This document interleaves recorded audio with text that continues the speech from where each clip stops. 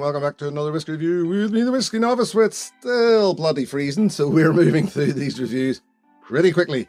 As you can see, wrapped up. Layers, it's all about layers, people. Layers and woolly hats. Uh, facial hair always helps as well. So, review number 217. Not a series. We're not we're not serious, but just that recently I seem to have been looking at quite a few peated whiskies. Maybe it's because it's cold, maybe. So a wee dram. A wee dram will warm me up.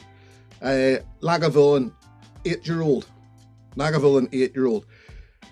I've started to turn to this.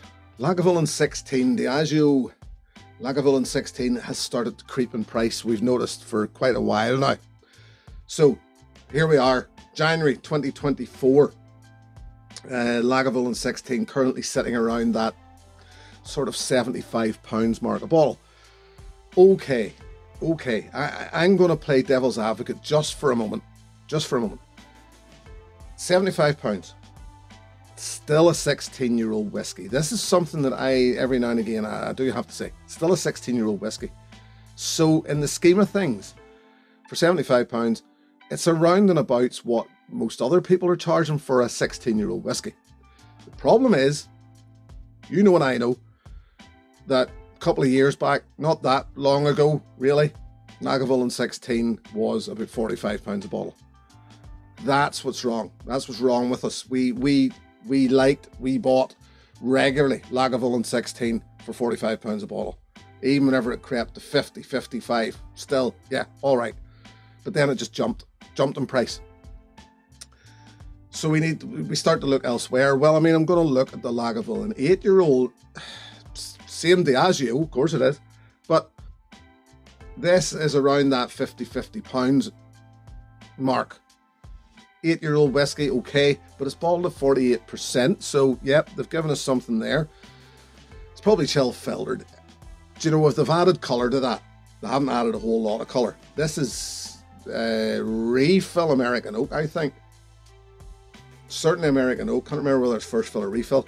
Uh, but it's you know that's it's so clear if you if you if they are adding color, and I know Diageo tend to steer away from whether they add color, whether the whether it's chill filtered or not. I doubt there's been color added to this. But anyway, let's just get into it, shall we? Nutty, bright, and zesty. Yes, it is. I'm, I'm going to suggest very typical lager, very typical Lagavulin that sort of tropically pineapple note.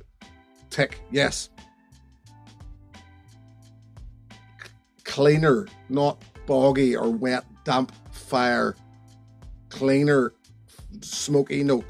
Tick, yes. That's which to me is something that I feel is, is as I said, typical of Lagavulin.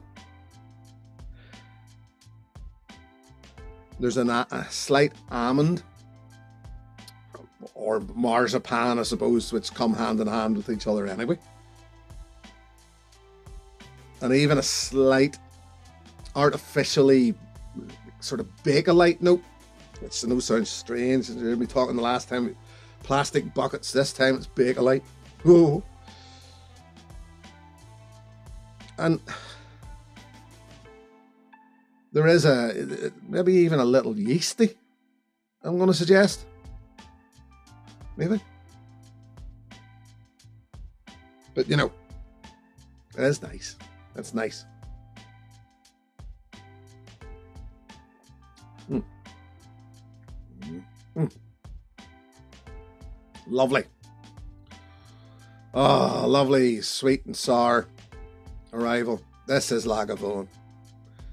I know they're Diageo, but I still think Lagavulin's fantastic there's a this is typical of it. There's just a real, even just that first sip. There's a, an incredibly creamy balance or something in there that it doesn't. There's nothing in this fighting with anything else.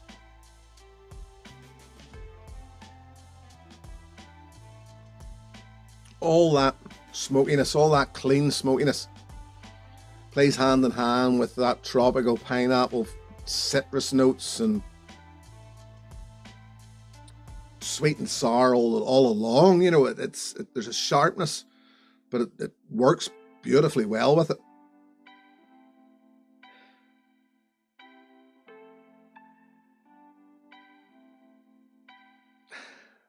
Yeah.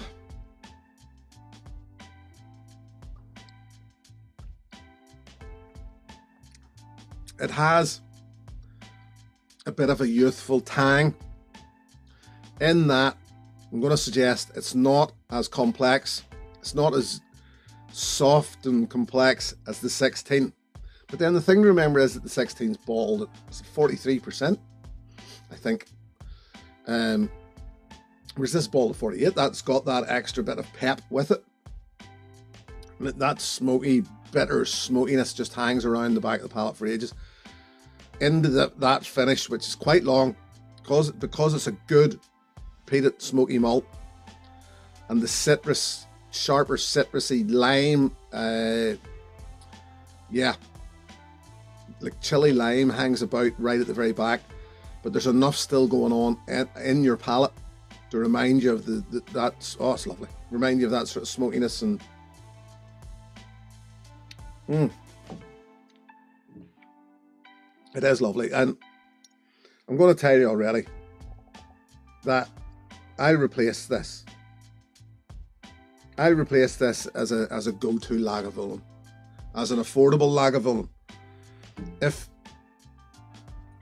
if they push the price of this up, they're just going to, to me, they're just going to do themselves out of the market. I, I think it's going to happen eventually anyway. I, I, I genuinely do. Lagavulin's just getting that little bit too expensive.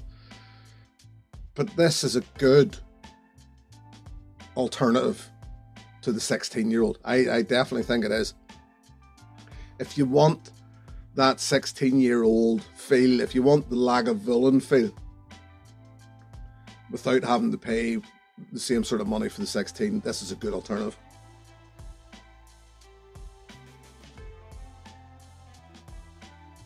Um, yeah, this blossoms quite a bit with the addition of water. Those citrusy notes come out. There's a smoky, nutty, pine nutty uh, note off it. Uh, something. Distant notes of green apple. Yeah, definitely.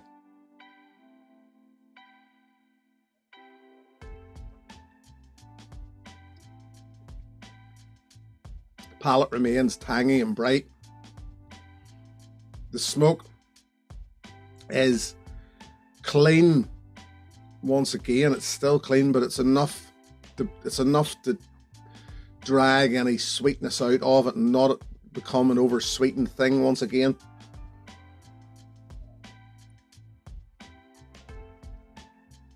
It's much more malty on the palate. You can definitely taste that dusty malt. Mmm. I, I, I really like Lagavulin. I mean, I can't hide it. It's just a shame the 16 crept out of the, out of that and they're into that price range that I just don't want to spend that sort of money on it anymore. Mm. But I'll be quite happy to pay for this. Quite happy. Yeah.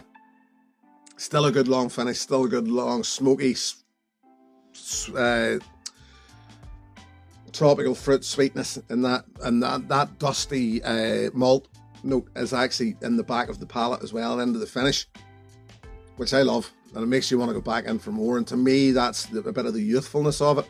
That's a bit of the the uh, distillery spirit shining through that you can still taste that malty multi uh, spirit in there.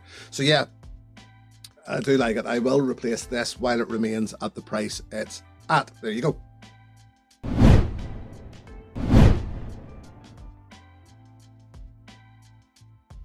So, what would I suggest then as an alternative? If you'd like this, then try this. Well, I'm going to have to, to do a bit of magic again because it's a bottle that shamefully I currently don't have in my uh,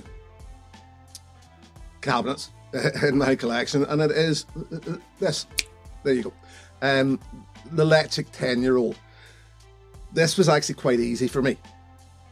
because I did a little blind, a little uh, blind thing recently, and I mistook this Ledaig 10 year old for this Lagavulin 8 year old.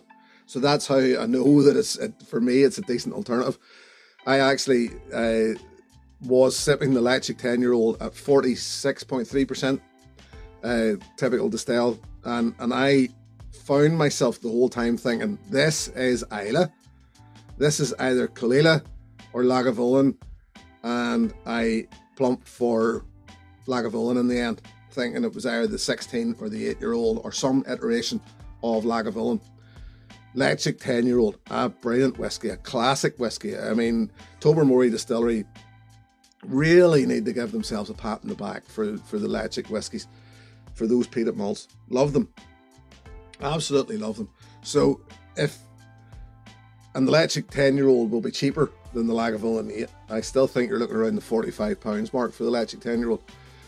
So if you're looking for a good alternative, or if you've uh, maybe you're wanting to know what the Lagavulin 8 sort of feels like before you buy it, Ledaig 10 year old. Simple, simple.